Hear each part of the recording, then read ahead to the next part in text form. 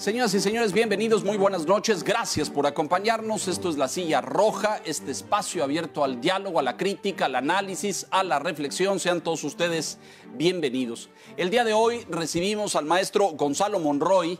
Gonzalo es un, eh, consultor, un experto, especialista en materia de energía desde hace eh, prácticamente dos décadas.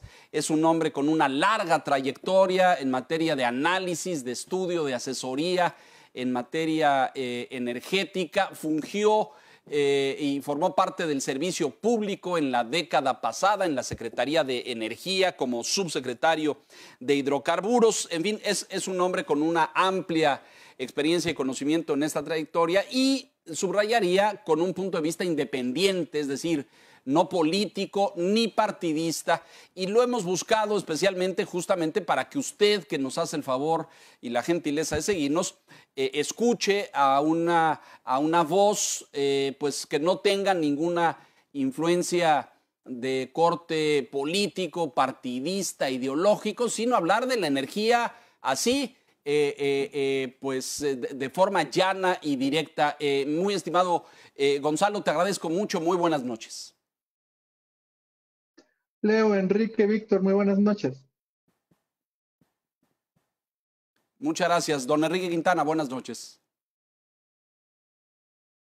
Buenas noches, Leo. Buenas noches a todos. Bienvenido, Gonzalo. Gracias. Don Víctor Piz, bienvenido. Gracias. Gracias, Leonardo. Saludos a todos. Enrique, Gonzalo, bienvenido. Listo, gracias. Eh, entrando en materia, eh, Gonzalo, porque eh, en estos casi dos años de administración hemos visto cómo han ido cambiando las, las posturas o, en, en, opinión de algunos, se ha ido recrudeciendo la posición del gobierno en materia de política energética, de la estrategia en materia de energía que el presidente de la República quiere llevar a cabo. Al principio el sexenio dijo que no iba a echar para atrás la reforma energética de la administración anterior, eh, que iba a seguir, que iba a respetar los contratos que estaban, pero que su eh, eh, principal foco de atención estaría en fortalecer, ahora hablan de rescatar a Pemex y a la Comisión Federal de Electricidad. De ese punto, de diciembre del 2018, enero del 19, a este punto, pues han pasado muchas cosas. No solamente hemos visto en la práctica que esa reforma eh, y aquellas rondas petroleras y aquella invitación y apertura bajo ese nuevo marco jurídico de atraer inversión extranjera, no solamente se metió en el congelador, sino que eh, pues prácticamente hoy la puerta está cerrada. Acabamos de ver en días recientes, Gonzalo, este áspero eh, intercambio con Iberdrola, una empresa española que había invertido en México, tiene aparentemente una inversión eh, in situ en nuestro territorio con, eh, con inversión de energías limpias, cerca de 10 mil millones de dólares y ahora pues se ha puesto la relación muy tensa. Entonces, la idea de iniciar este diálogo contigo, Gonzalo, es que nos ayudes a entender y sobre todo a nuestro auditorio la, posición del gobierno hoy eh, francamente negada y abierta a ese otro tipo de, expresiones energéticas. Eh, todo parece estar centrado en Pemex y en la Comisión Federal de, Electricidad, pero ahora hay todo un debate en el mundo sobre energías limpias, la necesidad de... dejar de, de, contaminar, de emitir gases de invernadero, de reducir la huella de carbono, eh, recorren en las plataformas eh, digitales, en Amazon, en Netflix, en todas estas, una serie de documentales que hablan del daño que la humanidad ha producido al planeta. Y vemos de forma muy cercana, estamos a horas, eh, mañana, lunes y, mañana, martes, el financiero Bloomberg estará dando cobertura puntual a las elecciones en los Estados Unidos y Biden ha puesto una postura muy ambiciosa eh, de tratar de llegar a la conversión total de energías limpias en Estados Unidos para el 2030-2035. Algo de mucha vanguardia, es decir, acabar con los combustibles fósiles. Entonces, es un debate amplio eh, mundial también, está sucediendo en otras partes del mundo. A lo mejor podríamos empezar después de esta muy larga, perdón, introducción, eh, que nos, nos dijeras cómo se ve el panorama y el escenario en México en estos momentos, qué posibilidades reales tenemos de producir o generar energía de una forma distinta. Te escuchamos y vamos eh, girando el uso de la palabra. Por favor. Claro que sí, Leonardo. Pues mira, ahorita yo, yo te empezaré diciendo principalmente el gran potencial y la realidad incipiente que teníamos justamente con las subastas eléctricas.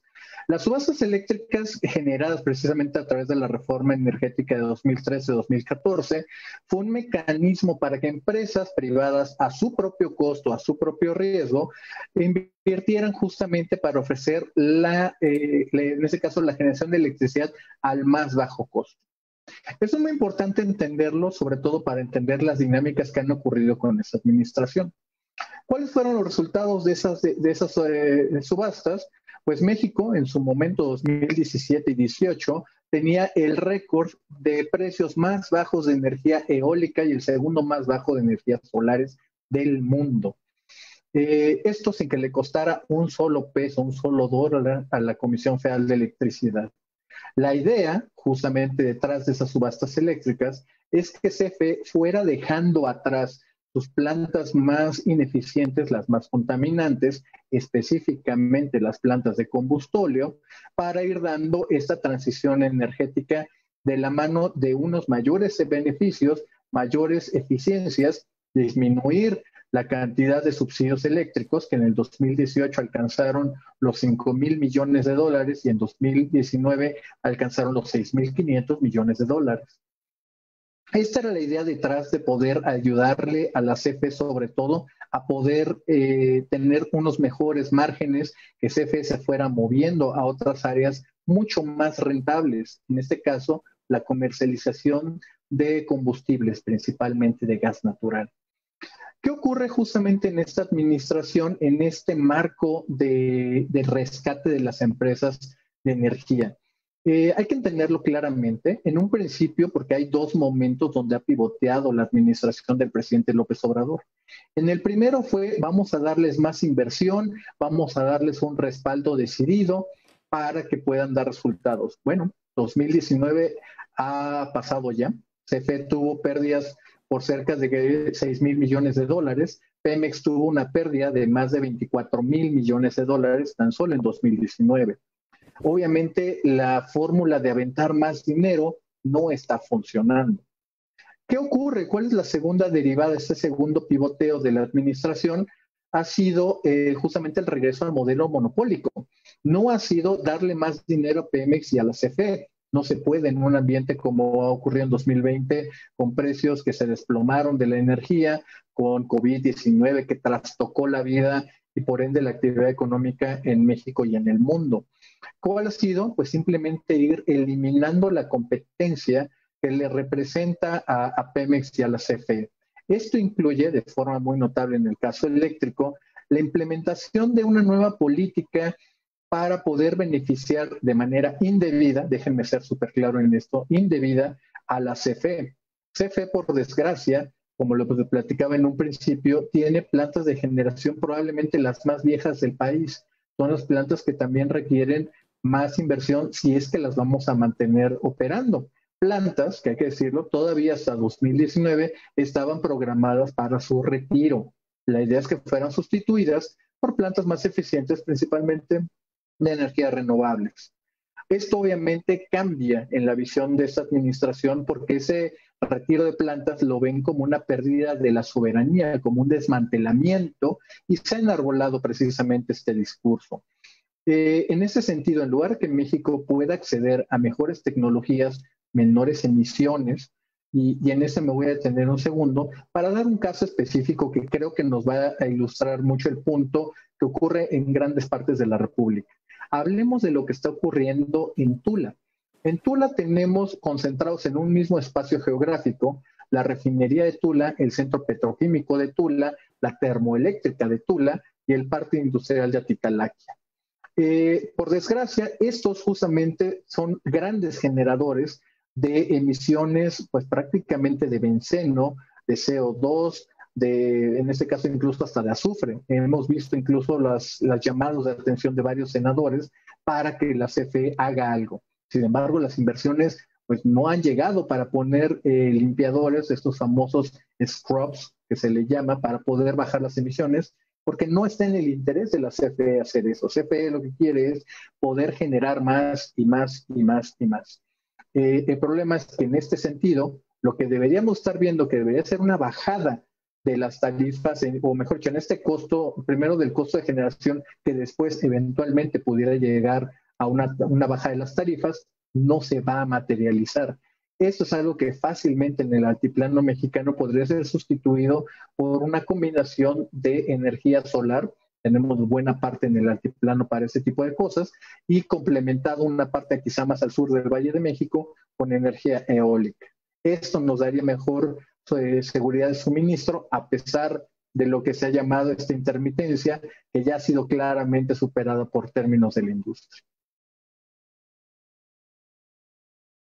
Eh, ahí, déjame detenerme ahí, Gonzalo, rápidamente. Tú dices con precisión, eh, la opción del gobierno ha sido regresar al modelo monopólico, eh, el que tuvimos muchos años, la preeminencia de, de, Pemex y la preeminencia de la Comisión Federal de Electricidad. Perfectamente, es una decisión política, estrategia. A mi juicio, ahora lo discutiremos con una gran carga ideológica.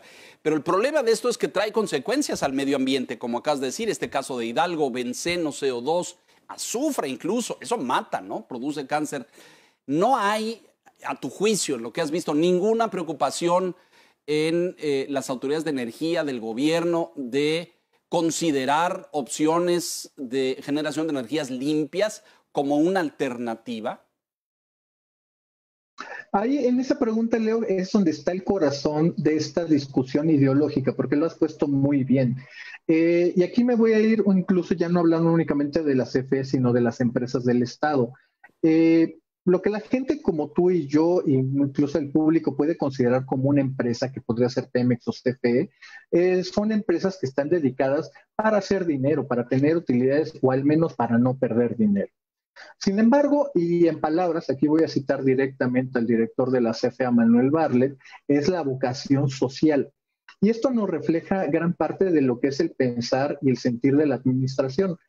Ellos no ven, este liderazgo energético del país no ve a las empresas del Estado como empresas, las ve más allá como el brazo ejecutor del Estado en materia petrolera y en materia de electricidad.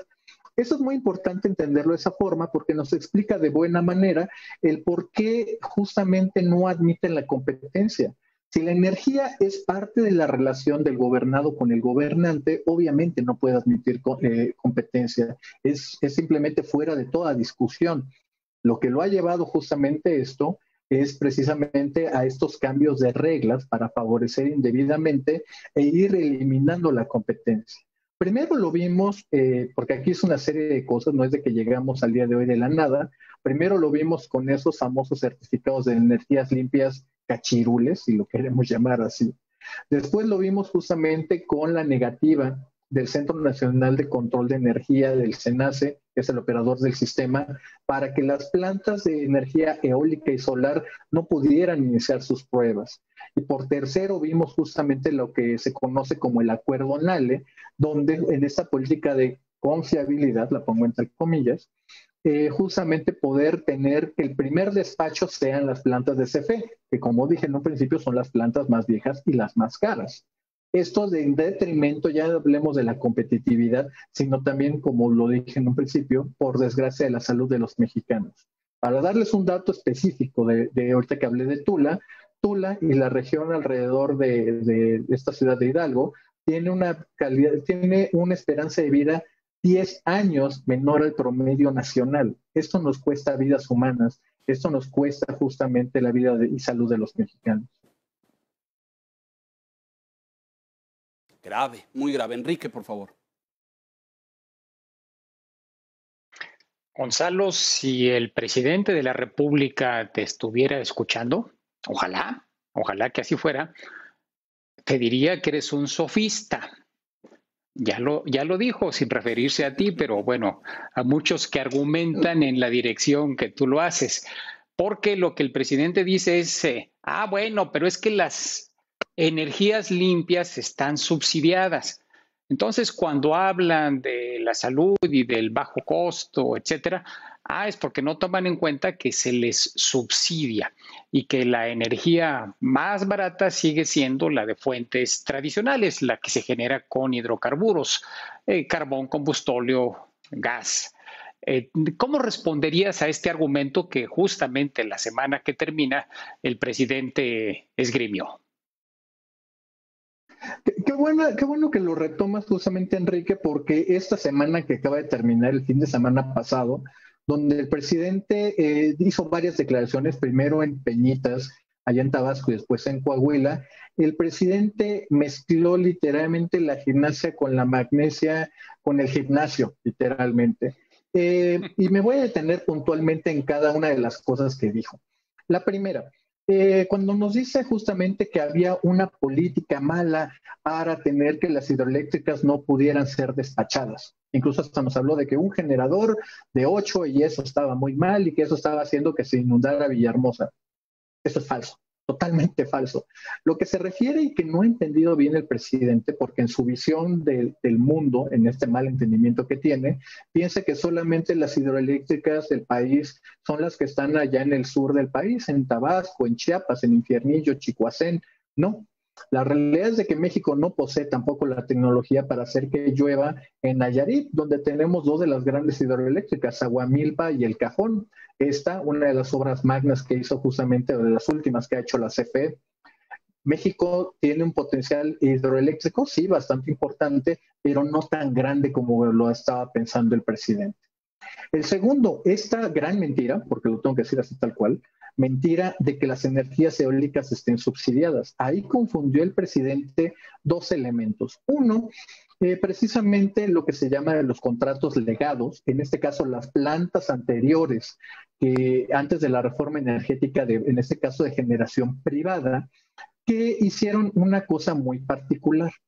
Eh, para poder entrar en operación y dadas las restricciones presupuestales que tenía la CFE antes de la reforma energética, lo que hizo, eh, hicieron estas compañías es que ellos construyeron las plantas, perdón, las líneas de transmisión tan necesarias para ciertas zonas del país.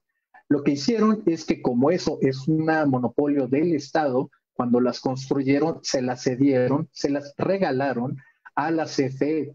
CFE ya entonces toma posesión, se cumple el mandato constitucional de su monopolio y entonces aquí ocurre un fenómeno interesante.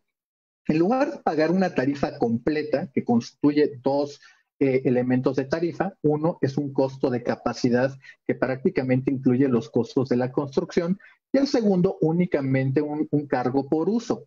El primero, como ya lo había mencionado, ya lo hicieron las empresas, ellas pagaron la construcción, así que no existe el costo de capacidad solamente el cargo por uso. Este cargo, también para darles un, poco de perspectiva, 90% es el cargo de capacidad, 10% es el cargo por uso. Como lo dije, pues, eh, sería incluso hasta ilegal que las, energías renovables, bueno, en este caso, los contratos legalos, legados, pagaran dos veces por infraestructura por la cual ya construyeron. Eh, el presidente se equivoca y miente rotundamente cuando dice que las energías renovables tienen subsidios.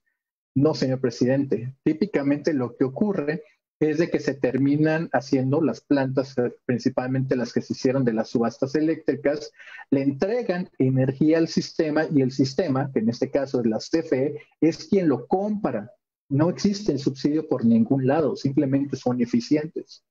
Por el otro lado, cuando el presidente nos quiere decir que las plantas de combustible y de carbón son baratas, por desgracia eso tampoco es cierto. Déjenme darles datos. Eh, la generación por combustóleo es tres veces mayor a las, a las plantas eólicas que tenemos, por ejemplo, en la parte de Oaxaca, en la parte del Istmo, en la Ventosa. Y son 2.5 veces más caras que lo que tenemos en solar, por ejemplo, lo que tenemos en Sonora. De ese tamaño es la diferencia. El carbón, también hay que ser aquí muy específicos. Todo el argumento de la autosuficiencia energética, de la soberanía nacional, se va por tierra. El carbón mexicano que se produce en las minas y en los yacimientos que tenemos en Coahuila se conoce como low grade o de baja calidad. Esto significa de que el carbón mexicano tiene un bajo poder calorífico y por desgracia también tiene grandes emisiones de, de cenizas, de hollín. Típicamente lo que hace la CFE es que importa carbón principalmente de Estados Unidos, de Kentucky, de Oklahoma, para poder hacer un mezclado y poder utilizarlas precisamente en la planta a la cual fue el presidente, la José López Portillo, y en Río Negro. Incluso, y esto déjenme también ser muy claros, eso no significa que vamos a borrar del mapa las, las carboníferas. No, esto nos ayuda también, por ejemplo, para la planta que tenemos de Petacalco, de carbón, la más grande del país, donde importamos carbón originalmente de Australia y después de Colombia. El carbón sí tiene un lugar en la, matriz energética del país, pero precisamente para la diversificación, para no depender únicamente de un combustible. Hoy México tiene la posibilidad de tener de combustóleo, que no es el más, el más eh, en este caso, el más eficiente. Sus curvas de generación son bastante más limitadas. Por otro lado, tenemos eh, la producción de, obviamente, energías eh, renovables, tenemos un potencial eólico como no, existe prácticamente en el mundo, tenemos solar, tenemos hidroeléctrica, a la gente se nos olvida a veces, pero tenemos eh, un considerable potencial en la geotermia. Todo esto puede ser simplemente bien utilizado con el complemento de, las empresas privadas para que no todo esté cargado para la CFE, porque simplemente el dinero no le va a alcanzar. Eh, para poder justamente potenciar un país. Hay que recordar claramente una verdad que hasta parecería de perogrullo. Un país sin energía simplemente no puede crecer.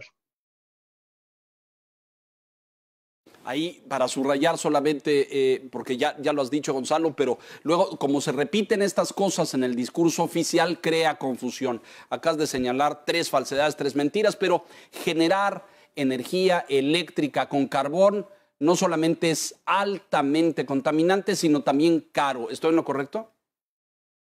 Es correcto, es correcto. Don Víctor Piz, por favor.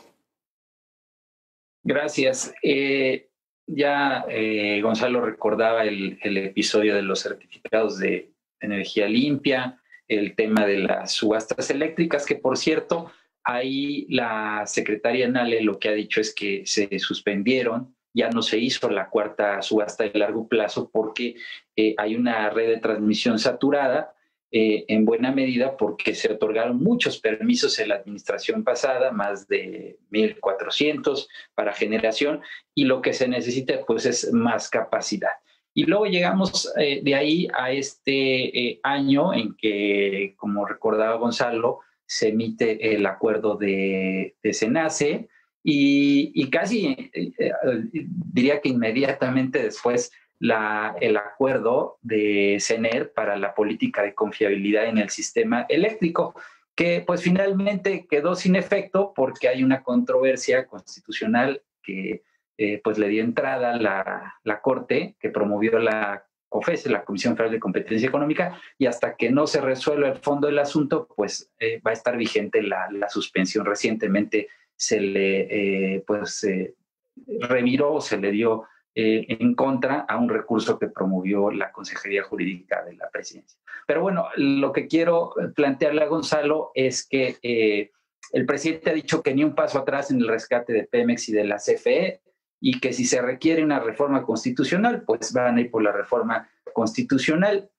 El tema es que la reforma de 2013 es una reforma constitucional, requirió pues mayoría calificada para que eh, pues pudiera anclar precisamente su constitucionalidad.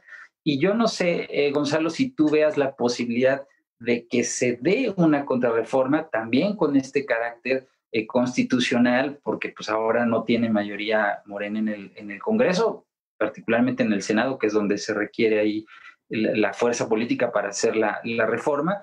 Digo, independientemente de que tendría que contar con el aval de 17 congresos locales, eh, pero la pregunta concreta es que también se ha planteado la posibilidad de que se haga una reforma a las leyes secundarias en materia de despacho eléctrico y no llegar a la reforma constitucional, pero sí hacerla. Y entonces en esa medida podría el gobierno pues dar este, este cambio y, tratar de eh, tener legalidad en ese tema. No sé cómo lo estás viendo tú ahí. Eh, qué buena pregunta, Víctor. Y hay dos elementos que, creo que hay que discutir a, plenitud. El primero es eh, si tiene, por ejemplo, los votos para alcanzarlo. En los últimos análisis políticos que hemos hecho, el presidente estaría corto justamente de esta parte. Es muy posible que no sea creíble esa amenaza. El segundo, y es probablemente el más importante y sobre todo el que genera más especulación, es qué constituye una contrarreforma energética.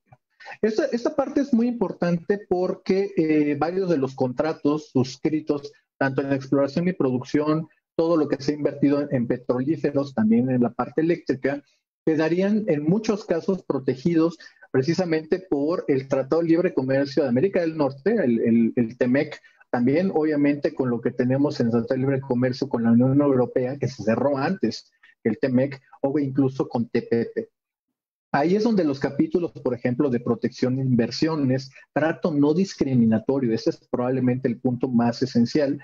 Y uno, y probablemente en caso de que se formalizara una reforma, el, obviamente el capítulo 11, que es el, el mecanismo de resolución de controversias entre un Estado y empresas. No es descabellado pensar precisamente por, toda la serie de acciones que han ocurrido, desde declaraciones en registro público de los comisionados de la CRE, los propios dichos por la autoridad, eh, en ese caso de la Secretaría de Energía Nacional, el propio presidente de la República, cuando quizá muy envalentonado dice que no le importa lo que piensen, sino que él va a seguir apoyando a las empresas del Estado, pues esto por desgracia está dando precedentes para que cuando llegáramos a un panel de controversias, eh, donde hay que decirlo rápidamente, un país o cada uno de los países propone a un miembro, se genera un tercero independiente y se hace con un panel de tres personas, con leyes mexicanas, pero no en tribunales mexicanos. Esto, esto hay que ser sumamente claro. Probablemente la fuerza de los argumentos no alcance para, para poder favorecer la posición del gobierno mexicano en este sentido. Este, este punto es muy importante, Víctor, porque nulifica lo que podría ser una reforma secundaria o en ese caso de leyes secundarias, llámese ley de la industria eléctrica, ley de hidrocarburos. Como sabemos muy bien por la jerarquía eh, legal que tenemos, está eh, la Constitución mexicana, inmediatamente abajo, casi a la par, está la parte de los tratados internacionales que tenemos suscritos, después bajarían las leyes secundarias. Así que aunque se hiciera una reforma de leyes secundarias para poder modificar o tratar de ajustar los deseos de la administración, estarían en conflicto con, eh, con lo que está establecido en los tratados comerciales.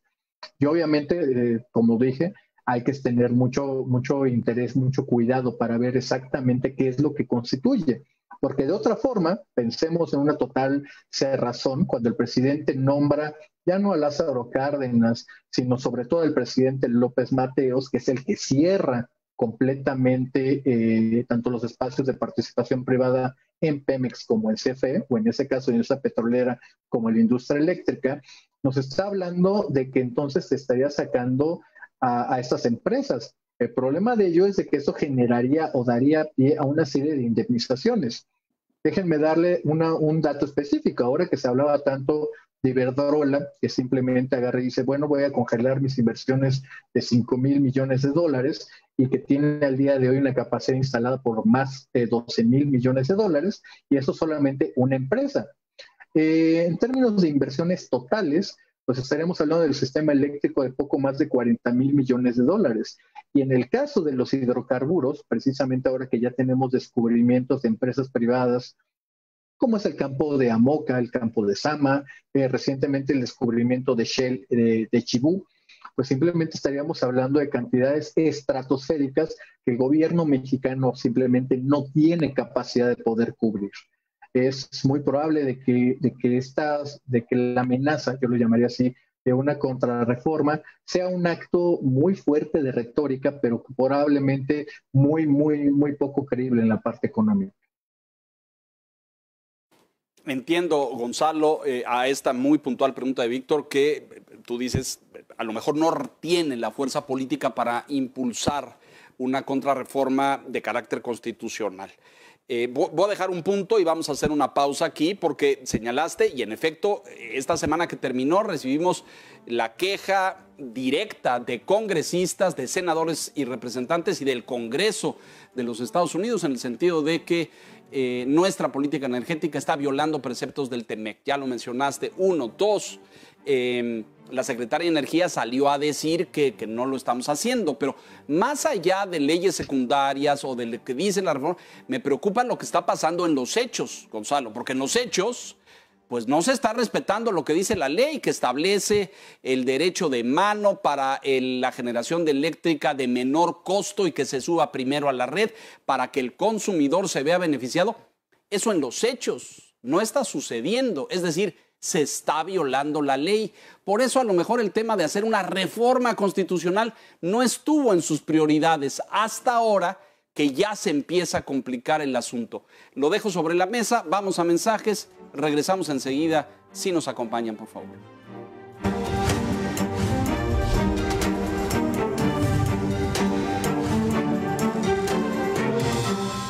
Informar con una visión social es lo más importante, lo que nos afecta, nos duele y nos conmueve. Conmigo encontrarás la información más importante y habrá siempre un espacio para que tu voz sea escuchada. A las 20 con Sofía Villalobos, de lunes a viernes, 8 de la noche.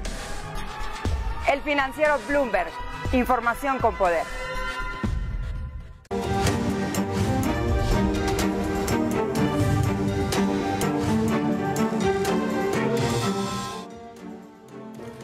Estamos de regreso en la silla roja con Gonzalo Monroy, experto, especialista, asesor, consultor en materia energética. Eh, eh, Gonzalo, explicas muy bien el marco jurídico y las posibilidades reales de que esto sea más un acto retórica que una intención real, sobre todo si tiene o no la fuerza legislativa parlamentaria para hacerlo. Pero eh, en la realidad, la práctica, pues señala otra cosa, Gonzalo. Es muy correcto, Leonardo, y déjeme ponerle casos específicos, porque aquí todo el marco legal ha sido justamente trastocado y, abiertamente violado. Podemos verlo justamente con eh, las declaraciones incluso del presidente cuando estaba presente en Coahuila de la mano de Manuel Barlet, cuando dice de que ya se solucionó el problema del despacho y que las carboníferas despacharán sí o sí. Eh, eso obviamente es una violación precisamente a los criterios de despacho, en este caso, y ahí déjenme ser un poquito claro en esto, la regla es muy sencilla. Eh, la planta que produzca al precio, en este caso el costo de generación de corto plazo, que típicamente es el combustible, el que tenga el costo más bajo es la primera en ser despachada. Típicamente se va sumando primero la solar, la eólica, hidroeléctricas, nuclear, ciclo combinado, que es prácticamente la mitad de nuestro parque de generación, y al final de la cola entra la cosa de combustóleo, diésel, carbón. Obviamente, eh, cuando se llega, o en este caso se, se, cubre la demanda, más un pequeño margen del margen de reserva, hasta ahí se fija el precio. Lo que a nosotros como consumidores nos interesa es que ese costo de generación sea lo más bajo posible. Eso a la Secretaría de Hacienda también le conviene mucho porque significa menos subsidios eléctricos. Y ya pensando en un mundo competitivo, significaría que esos beneficios se le pueden transmitir a los usuarios finales, gente como tú y yo en nuestras casas, a las empresas, a las fábricas. Ahora, esta, esta violación no solamente está ocurriendo en la parte de electricidad, la estamos viendo en prácticamente todo. Sabemos muy bien que hay más de 75 permisos en la Comisión Reguladora de Energía detenidos simplemente porque no son de Pemex. Si alguien, un, gasolinero quiere tener una marca diferente a Pemex, no se le procesa, simplemente no se le atiende su solicitud para su cambio, aunque tenga todos los papeles en regla. Nadie está ajeno a estos cambios. Gente, por ejemplo, que sobre todo en las penínsulas de Yucatán, eh, de Baja California o buena parte del norte, que sabemos que tienen climas más extremos, han decidido apostar por la instalación de paneles solares en sus casas. El problema, y o algo que tenía la reforma energética, es que te permitía, en este caso, si tú tenías una generación mayor, tú poderle vender la electricidad a la CFE o también lo permite la ley, vendérsela incluso a tu vecino. Eso ya te lo permite la ley. Lo que ha hecho la Comisión Regular de Energía y también en la CFE es dar largas de tal forma que nunca puedes formalizar un contrato y te dejan un espacio, eh, en un limbo. Tienes todo para hacerlo, pero simplemente no hay una respuesta por parte de la autoridad. Este entorpecimiento que no termina beneficiando a nadie más más que a las empresas del Estado, Y es a lo que me refería en un principio. No es que se le esté dando mayor dinero, mayor capacidad de ejecución, simplemente lo están limpiando de posibles competidores. Y es, creo, lamentable de que las empresas del Estado vean a los mexicanos como, como su derecho natural, como si fuéramos sus contribuyentes cautivos. Enrique, adelante. En esta misma semana, Gonzalo, eh, acudieron a la Cámara eh, los directivos de las empresas eh, del sector energético y también la secretaria. Una de las declaraciones más citadas, más referidas, correspondió al director de CFE a propósito de los adeudos que, de acuerdo a lo que él dice, tienen las empresas eh, generadoras con CFE. Y dijo Bartlett, nos deben más de 7 mil millones de pesos. Eh, es cierto, realmente eh, las empresas generadoras le están debiendo a la Comisión Federal de Electricidad y luego por eso las finanzas de la CFE no salen tan bien como, como esperaban sus directivos. Eh, no, no, Enrique, y justamente eso específicamente a lo que se refiere a Manuel Barlet es a lo que explicaba justamente la tarifa del porteo. Eh, un elemento que ellos quisieran ver es, y, déjenme ser aquí específico en dos ejemplos. Uno es de que quiere que paguen una tarifa completa por obra que ya construyeron ellos mismos. No puedes cobrarle por algo que tú pusiste el dinero. No tiene sentido. El segundo tiene mucho que ver con este también mal entendimiento que tiene Manuel Barlet con respecto a la figura de autoabastecimiento. Aquí me tengo que detener a explicar un poquito más cómo funciona. Eh, pensemos, por ejemplo, en tiendas de autoservicio, de esas que tienen eh, los símbolos amarillos y rojo, que vemos prácticamente en todas las esquinas del país. Ellos justamente tienen eh, una demanda eléctrica muy grande. Típicamente lo que se hizo en la década de los 90, 2000 es que se asociaban con un generador de energía, todo bajo, digamos que la misma tienda, en este caso una empresa eh, de autogeneración, y lo que hacían era una cosa muy, muy interesante. Se generaba la electricidad en un sitio, y por decir algo de, vamos a decir que, que en Guanajuato, se subía al sistema y del sistema se llevaba a toda la República, a todos sus puntos de venta. Esto era muy bueno porque les bajaba justamente sus costos de generación. Ya no le tenían que pagar la tarifa completa de generación porque ya se habían asociado con alguien. A CFE solamente le pagan su, eh, su utilización de la transmisión, el porteo. Eh, lo que dice Manuel Barlet es que le están robando mercado y que por eso tienen, eh, en este caso, ingresos potenciales perdidos. Eso es lo que está diciendo Manuel Barlet. Esto, para detenerme aquí, claro, eh, por ejemplo, si de pronto esta empresa quiere expandirse y tener dos, eh, dos tienditas más, lo que ahora dice Manuel Barlet es que ya no pueden. Los que firmaron, firmaron y no hay expansión. Si una empresa, por ejemplo, quiebra, en lugar de que tú puedas colocar esa misma capacidad con un tercero o jalar, o jalar un nuevo cliente, ya no lo puedes hacer. La realidad es que Manuel Barlet y las políticas que ha implementado está tratando de proteger, no perder clientes. Y el punto esencial de aquí, y Paco relacionado a la intervención anterior, no es que CFE esté ofreciendo mejores tarifas, mejores, eh, o en este caso mayor flexibilidad a los usuarios, simplemente los está tratando de coartar su, su, su libertad de elección, de poder tener acceso a plantas más, más limpias. Este segundo es también muy importante. Empresas, por ejemplo, aquí sí lo voy a decir abiertamente, como Cemex, como Bimbo, que están justamente en un proceso de responsabilidad social y ambiental, están tratando de mover la generación de su energía a energías limpias. Tienen contratados con terceros la generación eléctrica eh, solar y eólica. La idea es pagarle a la CFE únicamente la transmisión y sus plantas que sean operadas por energía renovable. Obviamente lo que está haciendo al día de hoy Manuel Barlet es que ya no pueden hacerlo más. Si viene una siguiente planta, pues CFE te la entrega. No, no preguntemos de dónde viene, puede ser que venga de carbón, de combustible, eso, eso no te preocupes, tú nada más con que me firmes a mí. Y este, este suena totalmente a un contrasentido y es exactamente a lo que están haciendo al día de hoy. Víctor, por favor. Yo no sé si y ahora que está el, fuego cruzado en, materia energética, si se puede hablar de que la reforma energética de 2013-2014 es una reforma privatizadora, como se ha dicho, ¿no?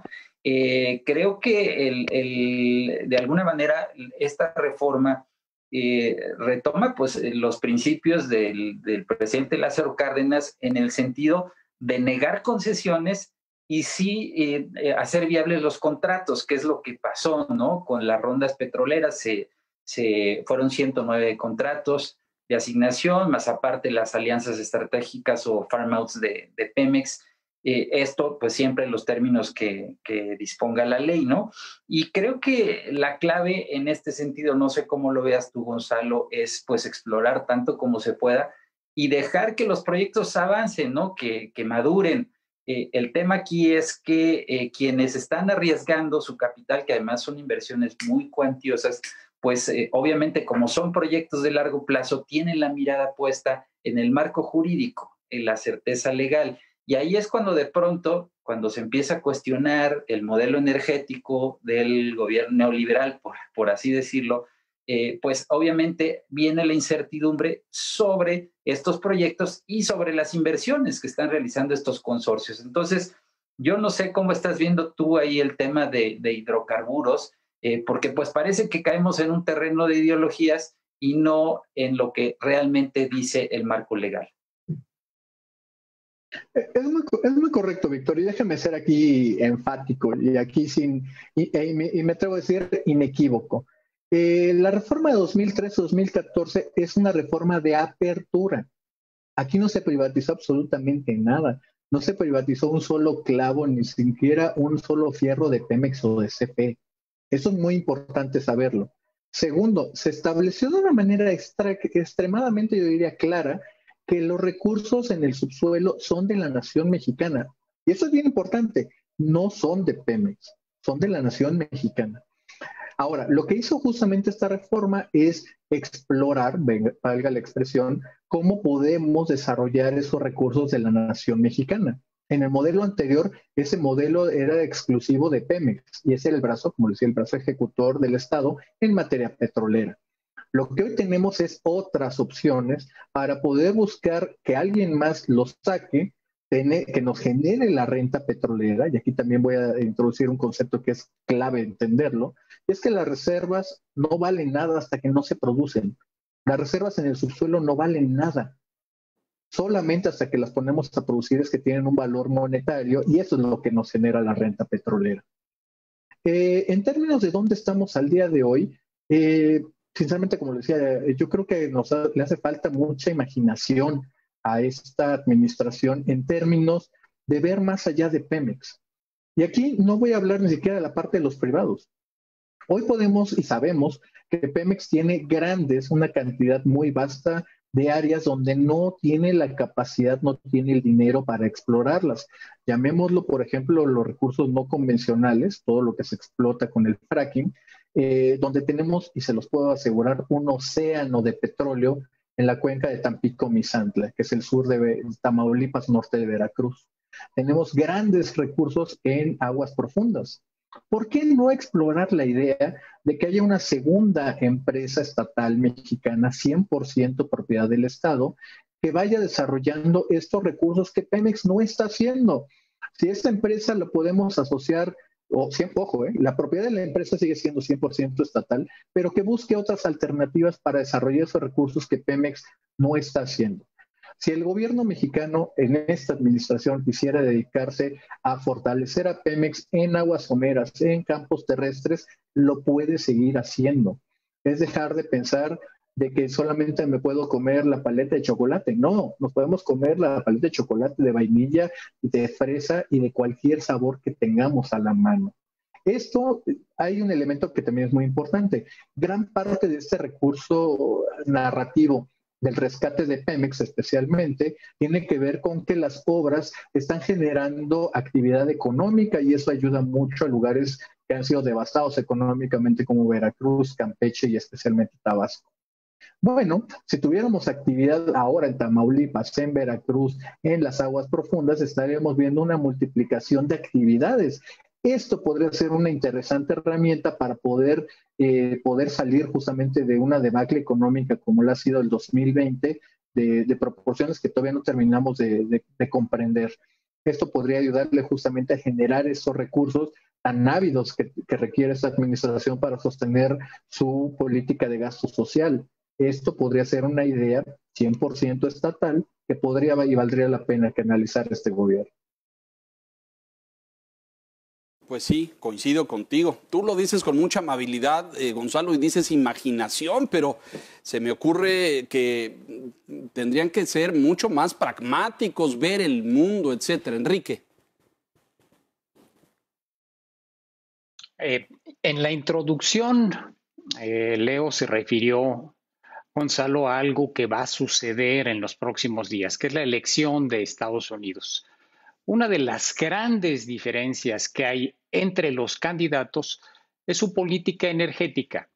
Trump le puso mucho énfasis a la generación con hidrocarburos y Biden tiene un programa gigantesco de más de una década para convertir a Estados Unidos en un país que tiene predominantemente eh, una generación con energías limpias bajo el supuesto de que ganara Biden y que tuviéramos una nueva política en Estados Unidos en los próximos meses, en el arranque ya del 2021, ¿qué implicaciones ves para México? ¿Qué tanto puede cambiar las cosas, eh, puede cambiar el entorno una nueva administración en Estados Unidos con una nueva política energética?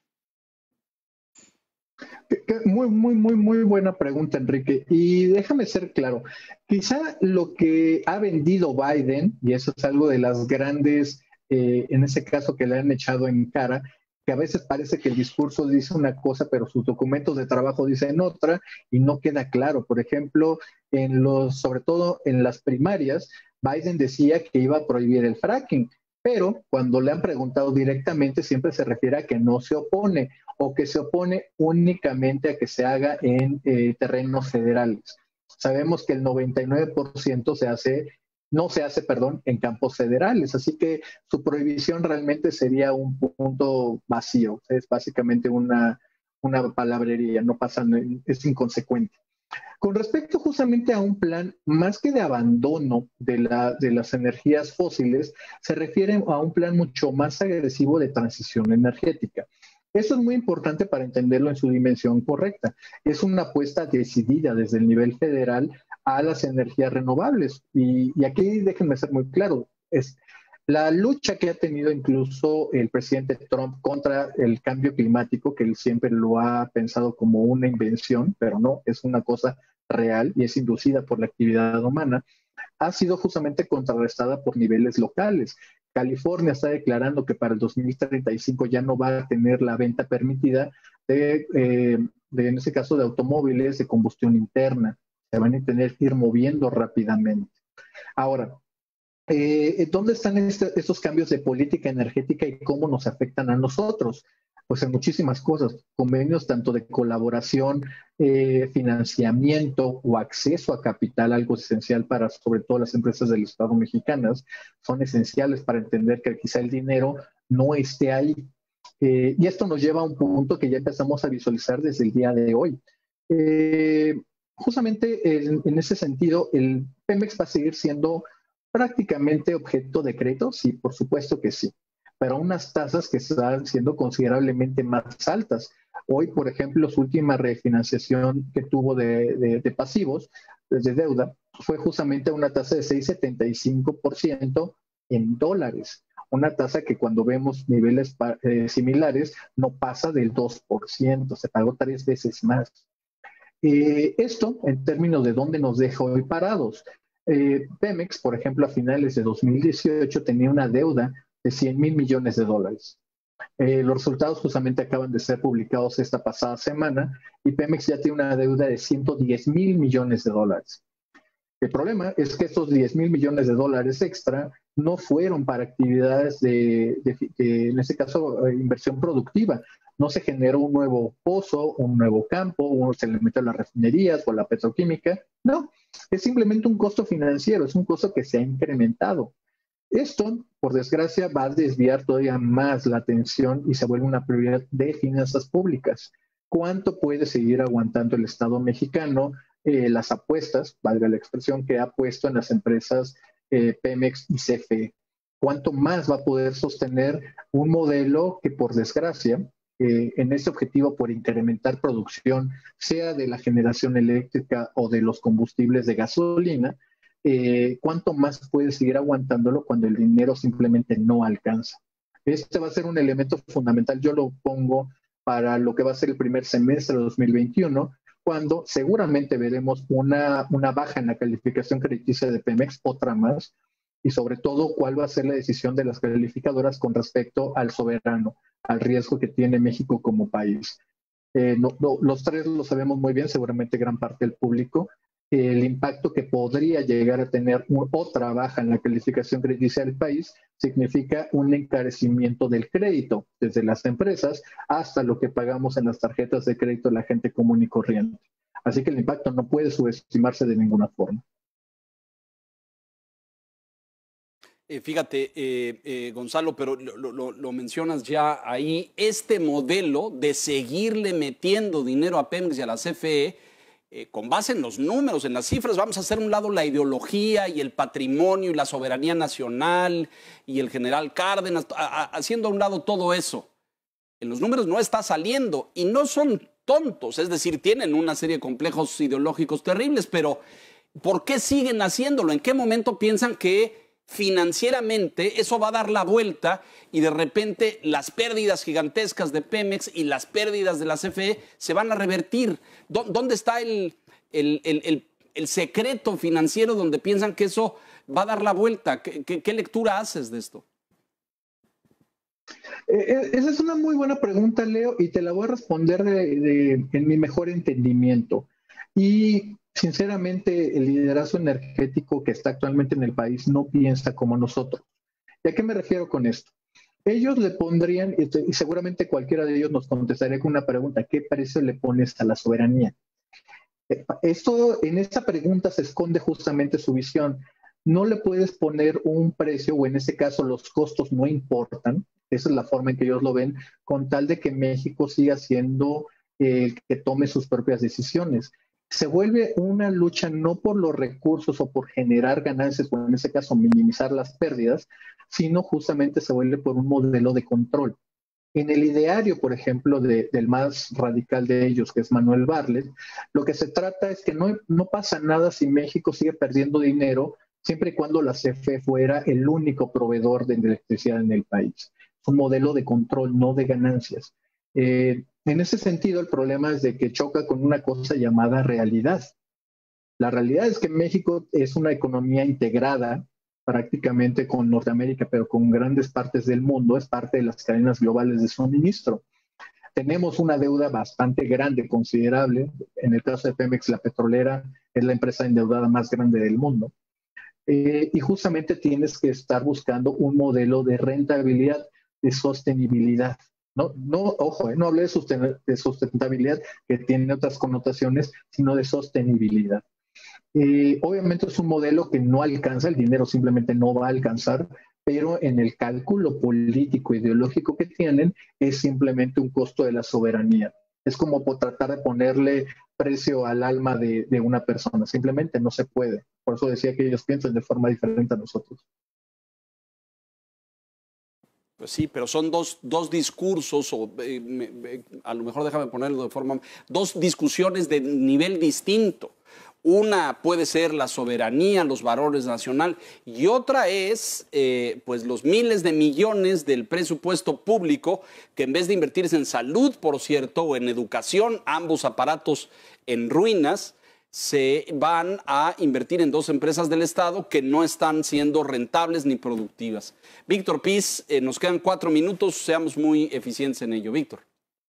Sí, eh, pues brevemente nada más creo que lo más lamentable de esto es que no hay claridad sobre el modelo energético, Gonzalo, digo, más allá de esta disputa ideológica de la reforma neoliberal privatizadora contra la nueva política energética, en razón de que muchos asuntos se han judicializado y están en medio de controversias, de acciones de inconstitucionalidad, de amparos, y mientras no se definan, creo que vamos a estar frente a un impasse en el sector energético mexicano, pues lamentablemente porque eh, eso pues también ahuyenta inversiones, eh, le resta certidumbre al sector. Ahí, ¿cuál sería tu opinión? Eh, pues mira, yo te diría de que justamente hay que usar las vías institucionales. Ahorita tú mencionabas muy bien, incluso en, una participación anterior, de cómo están estas controversias constitucionales. Por un lado, lo que hoy conocemos como la Alianza Federalista, también tenemos el, probablemente el más importante, que es el de la controversia constitucional de la Comisión Federal de Competencia Económica. Sin embargo, también hay un elemento. Eh, toda la política, sobre todo de electricidad de este gobierno, ha sido detenida eh, totalmente en las eh, cortes. En este caso, en los juzgados de competencia económica. Ahí es donde se han otorgado ya las suspensiones definitivas. Y en el caso eh, de, una empresa, y eso ocurrió también esta pasada semana, que ganó justamente ya el amparo para justamente para ampararse ante los hechos y las implicaciones que tenía esta política energética. Sin embargo, dentro de ese amparo hay, una, hay, un, hay un elemento que es el que quisiera dejar en la mesa porque creo que las implicaciones son muy buenas. El juez, en lugar de otorgarle un amparo individual a una empresa que hubiera tenido una, una ventaja sobre las demás, eh, hizo justamente que el alcance fuera generalizado todas las empresas que estaban siendo afectadas por ello han sido beneficiadas por este amparo. Está también otro lado que todavía no se ha podido eh, todavía resolver, todavía también tenemos una suspensión, que es acerca de lo que promovió Greenpeace, acerca del derecho humano a tener un medio ambiente limpio. Como les comentaba, toda la, toda la discusión para poder favorecer las carboníferas, las plantas de combustóleo, pues atentan directamente a ese derecho humano. Eso seguramente será traído por la Corte, yo, probablemente hasta el siguiente año, y veremos también ese resolutivo. Así que en ese sentido, Víctor, yo te diría de que de que hay que apostarle a la vía institucional. Todavía veremos seguramente esta escalación que primero fue en las, en las cámaras de comercio americanas, después esta famosa carta de los, eh, de los congresistas, y ahora lo vemos justamente que escalará seguramente hacia un nivel diplomático mayor y hasta llegar a los famosos paneles de controversia. Se nos acaba el tiempo, nos podríamos seguir una hora más en esto. Eh, eh, Gonzalo, yo te agradezco profundamente. Eh, comentarios y conclusiones rápidamente, señor Pi, señor Quintana. Víctor. Nada más agradecer a Gonzalo que nos haya acompañado esta noche. Pues el debate energético pues va para largo por lo que se ve y siempre es importante tener pluralidad de voces en el tema, sobre todo de expertos como él. Gracias. Enrique. Pues vaya tema, está hecho un nudo, es lo que yo podría concluir, Gonzalo, de lo que nos dicen, y no va a ser fácil desatarlo, así que seguramente va a haber otras ocasiones para que nos expliques en, en dónde vamos en este complicado anudamiento de la política energética. Gracias por acompañarnos. Les agradezco muchísimo la invitación, muchas gracias a todos. Gonzalo, muchas gracias. Eh, dejamos la puerta abierta para futuros encuentros y diálogos. Te agradecemos mucho. Claro que sí, les mando un gran abrazo a ustedes, al público. Muchas gracias.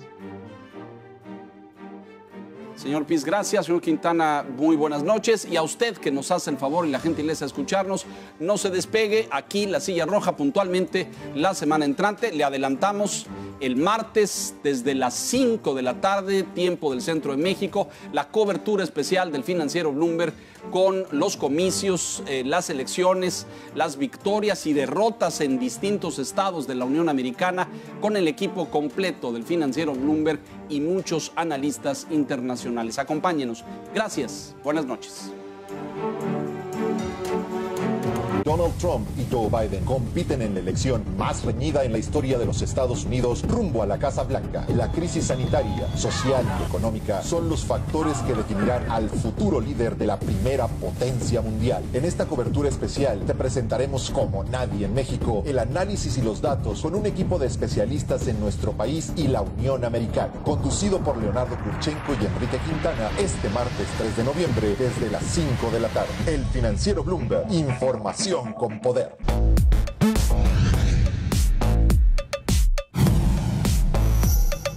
Las plagas de insectos en los cultivos reducen hasta 40% el rendimiento agrícola. Y en dinero, eso se traduce en un costo anual de 1.400.000 dólares. Además, producen un gran precio ambiental y de salud para la población. Las soluciones tradicionales, como los pesticidas, dan resultados